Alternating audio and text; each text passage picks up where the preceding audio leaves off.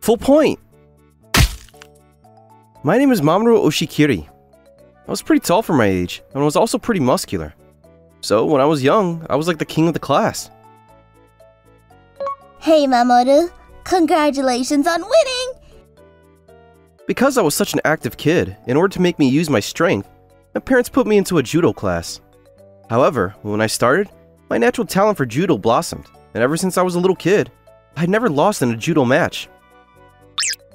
Here, Mamoru. This is the candy that you like. If you'd like, you can eat it later. Oh, thanks. I had a childhood friend that lived in my neighborhood who had a weak body. She was a cute girl that smiled softly like a ray of sunshine in the spring. Because she was weak, a lot of our classmates used to make fun of her. And that's why I always looked after her, and I protected her. I'll hold this to your home. Mamoru, th- thanks. Hey, you were being bullied by that guy, Thomas, in Class C today, weren't you? That guy. The next time I see him, I'm gonna put it into that. Make sure he never bothers you again. Thank you. If you're ever troubled by anything, you come and tell me. If I say something, most guys will shut up. But even still, I don't get why everybody's always picking on you. Well, I'm always sitting out of my gym class, and I also end up not coming to school a lot of days, so a lot of people don't think too highly of me. Maybe that's why. But if you're not coming because of illness, there's nothing you can do about it. I don't understand their way of thinking at all. Everybody has a heart, and anybody would be sad if they were hurt. And however strong or weak somebody might be has nothing to do with that. Yeah, you're right. I really admire that about you, Mamoru. Sh- sure, right. Haru loved to read books. That's why she was really knowledgeable, and she taught me a lot of things that I didn't know. I also admired Haru. I was good at the things that Haru wasn't good at, and the things that Haru was good at was what I wasn't good at. But everybody has things that they're good at. But more importantly, that's not so that you can laugh at someone when you find a person that is less good at it than you. I believe that it's so that you could help each other out when in need. The reason why I was able to think that way was probably because I watched Haru grow up, who was the complete opposite of me. I enjoyed being together with Haru. However, at the end of our second year of middle school, she was going to move to Tokyo. If she went to Tokyo, apparently there was a hospital there, and she would be able to get better treatment. Mamoru, thank you for everything. Thanks to you, it wasn't so difficult for me to go to school. Take care of your health and be well. For a while, I regretted that I wasn't able to tell her that I liked her until the very end. Sad that I wasn't able to see her kind smile anymore, but I was caught up in my judo practice and studying for high school entrance exams, that before I knew it, I had forgotten about that sadness. Full point! And then, I got into high school. Even after Haru moved, in high school judo, I was also unbeatable. And after that, I was given a sports scholarship and went to college. He's amazing! That guy Oshikiri, he's unbeatable. I feel bad for all the guys that are his age. That guy named Aranami is also pretty strong, but because of Oshikiri, every year he's in second place. However, I wasn't unbeatable when I was a sophomore in college. I broke a bone in my knee, and I was no longer able to do judo. To be honest, I was so angry that my mind went completely blank. However, if I couldn't do judo anymore, then I had no choice but to do something else to survive. Welcome! From there, the months and years went by, and I had turned 28 years old. After I left the judo world, after I graduated from college, I got a job at a food and beverage company. Currently, I'm the manager at a high-end barbecue restaurant. Previously, I was the manager at a different store location, but starting this month, I was placed in charge as the manager of the most busy store location. It's almost time for the people from the Aranami company to come. I heard from the previous restaurant manager that they are the big regulars that always come to our restaurant for parties and happy hours. Welcome! Oh? Since when did the restaurant manager change? We have a reservation under the name Aranami. Yes, I'm aware. I'm the new restaurant manager. My name is Oshikiri. I look forward to being at your service. Oshikiri? Wait a minute. Didn't you used to do judo? Yes, I did in the past, but Interesting. I'm gonna have a chat with the restaurant manager. You guys go ahead to the table. Hey, Mr. Restaurant Manager. Do you remember me? uh, um, I'm Jin Aranami. We used to meet a lot at the judo competition finals, didn't we?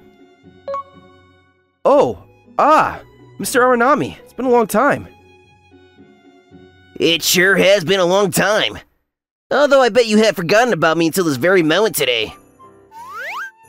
I, I'm sorry. It's been a long time since I retired from judo. Although, I've never forgotten about you for a day in my life. What? Just so you know, I am the son of the CEO of Aranami Company, and that's why I'm coming here. If you do something rude, we're never going to use this restaurant ever again. So you better be careful when you're serving us. Y- yes, sir.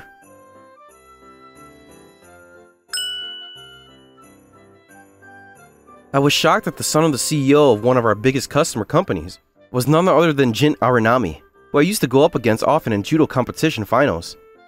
However, what shocked me even more was that Aranami started calling me up by my name, and he would belittle me and harass me during his visits. Look at you! Now that you can't do judo anymore, you become completely useless. Sure, I bet you couldn't do anything besides judo anyway, could you? And that's why you're stuck here as the restaurant manager of a barbecue place like this. You should have studied more like I did. How sad, isn't it? That a guy who had no skills other than judo had judo stolen from him. I was still upset to this day about the fact that I wasn't able to practice judo anymore. And that's why it was really painful to be laughed at about it. However, he was a very important regular customer to the restaurant, so all I could do was stay quiet and tolerate it. And then, after that, every single time he would come to our restaurant, he would make fun of me. And in order to make fun of me, we were receiving more reservations from Aranami Company. And because of the increase in sales, my boss, who didn't know anything, was complimenting me. But deep down inside, I felt conflicted. Yes, thank you for your continued business. You'd like to have a company party. And would you like to rent out the whole restaurant? Yes, absolutely. And the date is the 1st of April from 5 p.m. Yes, thank you very much. Was that a reservation for a private buyout of the restaurant? Yeah, they said that they want to use our restaurant for the Aranami Company's employee party. It'll be 40 people. It'll be a tasting menu, so we need to do a lot of prep for that. Yes, sir. It was a struggle to be belittled by Aranami like that, but it was also the reality that our restaurant sales were being supported by the Aranami company. I can't treat Aranami roughly at all, and I was also grateful for this private party reservation of 40 people. However, on the day, even though it became time for the reservation, not one person from Aranami company showed up. What's going on here? Mr. Aranami won't pick up the phone, and when I called the company, they said they didn't have any plans for a party like that today. A no call, no show? Well, we haven't received any phone calls. They haven't canceled either. But from the beginning, maybe it was a lie, and this was all just to harass us? What? What do we do? It was a reservation for the tasting menu, so we have quite a lot prepared. What do I do? I knew Aranami didn't think very highly of me, but I didn't expect him to do something like this. My mom? What does she want at a time like this? Hello? Oh, Mamoru, are you at work? I'm sorry. She needs something. It's gonna have to wait.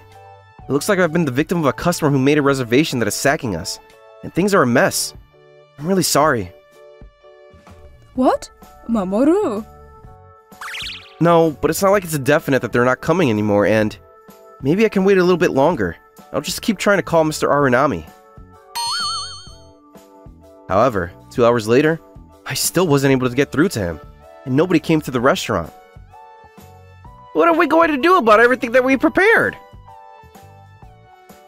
Hmm. Mamoru! If the reservation has been stacked, then would it be okay if we use this place for our company drinks? What? Do I know you? It's me, Haru. Huh? Haru? What? Huh? What's going on here? I came back here for the first time in a while, and I just wanted to see you no matter what, so I went to your house. But then your mom called you for me, but it seems like you were caught in some big trouble, so I came here to save you. Oh, when she called earlier. You prepared everything already. If it all goes to waste, it's gonna be a big problem, isn't it? When I contacted my dad, he said that he can bring everybody that's left in his company. Would that work? That would be super helpful, but are you sure? Haru suddenly appeared, and she had become so much more of an adult since the last time I saw her when we were in middle school, and she was full of energy and strong. I am still super shocked. Haru, are you healthy now? And also, I didn't know that your father was a CEO. Yeah. When I moved to Tokyo, I received surgery, and by the time I was a college student, I was practically fully healed. That's why I'm super healthy right now. And then, Haru's father, who had gotten the phone call from her, brought all the people from his company. And not only that, but the employees who lived in the neighborhood also invited their families, and the restaurant became completely full. I always had a company over in Tokyo, and over here we happen to have a branch company. It's a nice area to raise children, so since Haru was little, we lived over here, and I was going to and from Tokyo. We moved, so normally we are in Tokyo, but we just happen to have business with this branch, and Haru and I came here together. I'm happy to have the opportunity to treat all the employees from this branch. I'm so shocked that my mind can't catch up with what's going on here, but really, you really saved us. Still can't believe that people who would do something so terrible like no call show for a reservation of 40. Seriously, I'll never forgive them. Haru, you become so strong, even though you used to be so timid. What? Oh, is it weird? No, I think it's really great. Th- thank you. What is going on here? Where did these customers come from? Hmm? Wasn't that... I found you! What? What the hell is going on that you would sack the reservation like this? There was no phone call, and you refused to answer your phone either. Who knows? Did I make a reservation? Where's the proof? You didn't receive a deposit or anything. Because you're a regular customer, we didn't have you fill out a reservation form, nor did we take a deposit. Are you planning on playing dumb? I'm going to tell your company. Nobody's gonna believe anything you say anyway. But I believe Mamoru. What? Wait a minute, you are. It's been a long time, Mr. Aranami. I could not have imagined that you would be the person to call no-show for the reservation. I am disappointed. It truly is disappointing when the CEO said is somebody like this. We are going to be canceling our plans to have a meeting with you next week. What? What? what why is the CEO of Iwamichi Company and his daughter here? The restaurant manager here is my very important childhood friend. A company that has somebody in charge that would sack a reservation like this and cause so many trouble to a restaurant with no morals is too scary to do business. We are going to be canceling our business with you. Haru, your father's company had business for Aranami Company? That's right. Although in light of this, it is scary that they may sack our business relationship without any notice. On top of that, they say they don't remember having the conversation, and we certainly can't risk that. No! Any business done with your company will be done properly! Absolutely not. Anybody that can behave like this normally, you never know when or what might do something.